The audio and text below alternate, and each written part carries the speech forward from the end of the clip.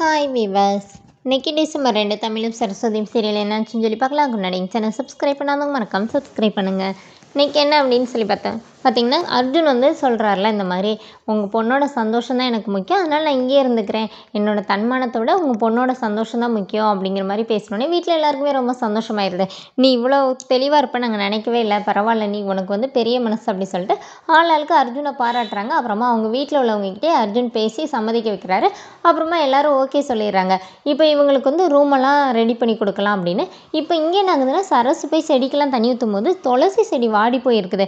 அதை பார்த்தோன்னே அபியை கூப்பிட்டு கேட்குறாங்க ஏன் இந்த மாதிரி செடி வாடி போயிருக்குன்னொடனே தெரியலம்மா நேற்று கூட இந்த அர்ஜுன் ராகினியோட மாமியாரும் நாத்தனார் அவங்க ரெண்டு பேரும் தான் செடிக்கு வந்து தண்ணியே ஊற்றுனாங்க எங்கள் வீட்டில் இப்படி செடியெல்லாம் வைக்கணும்னு எங்களுக்கு ஆசையாக இருக்குதுன்னு சொல்லி ஊற்றுனாங்கம்மா அப்படின்னோடனே இப்போ சரஸுக்கு மொதல் இருந்தே எல்லாமே யோசிச்சு பார்க்குறாங்க அர்ஜுன் வீட்டுக்குள்ளே வந்தப்போ சூடு அணைஞ்சது அன்னைக்கு வந்து எல்லாரும் வந்தப்போ ஆரத்தி காட்டும்போது சூடு அணைஞ்சது செடி வாடி இருக்கிறது எல்லாத்தையும் வச்சு யோசிக்கிறாங்க. ஒருவேளை கடவுள் நம்மக்கிட்ட எதனாச்சும் சொல்ல வராரோ நமக்கு தான் புரியலையோ இந்த வீட்டில் என்ன தான் நடக்குதுன்னு சொல்லிட்டு சரசு ரொம்ப குழப்பத்தில் இருக்காங்க. அப்போனே அபி கேட்குறாங்க என்னம்மா என்னாச்சுனோடனே ஒன்றும் இல்லை.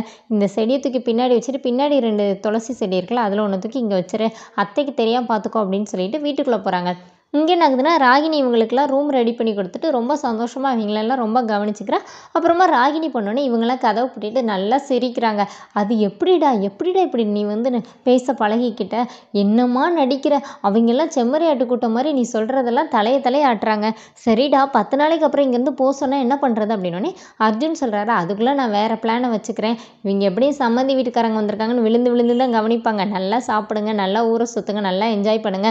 மீதி உள்ளதை அப்புறமா பார்த்துக்கலாம் ராகினி வந்தால் பிரச்சனை ஆயிரும். நான் போகிறேன்னு சொல்லிட்டு அர்ஜுன் போயிடுறாரு. அப்போ இங்கே என்ன ஆகுதுன்னா அடுத்த நாள் வந்து இவங்க எல்லாரும் இப்போ சரஸ் வந்து ரூம்குள்ளே போனோடனே தமிழ் வந்து ராகினி இங்கே இருக்கிறத பற்றி சந்தோஷமாக பேசிகிட்டே இருக்கிறாரு.